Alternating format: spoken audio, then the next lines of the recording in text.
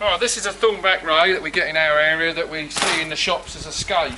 Uh, it needs quite a lot of preparation. You can see the top and the bottom are both covered in skin.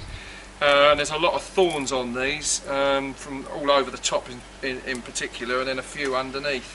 They actually need the skin and all the thorns taken off. And this one is actually a particularly thorny one.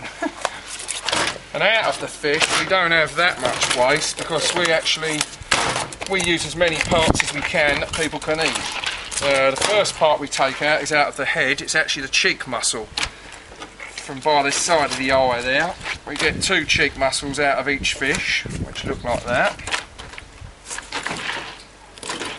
And what I don't use, the, wasted bit of head goes in the lobster pot. We then have the tail section, which we take a piece out of here called a banjo, which again needs the skin removing and all the extra bits. We take the skin off by running the knife down either side of the back where the, the line of spines are.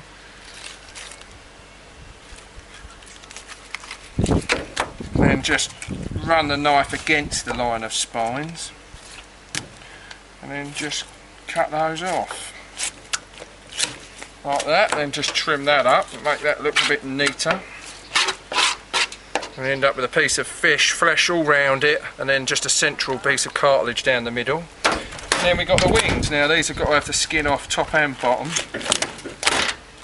which I've got my own little technique for doing. As I say this one's got rather a lot of thorns on.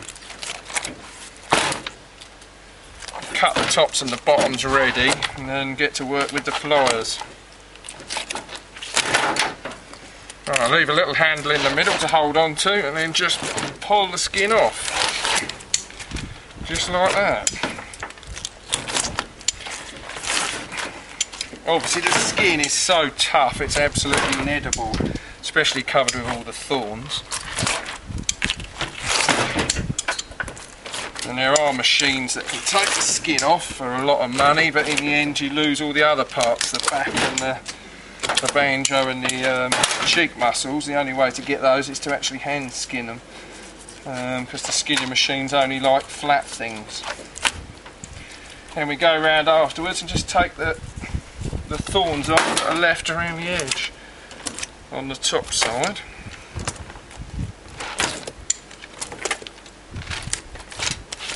That's one side.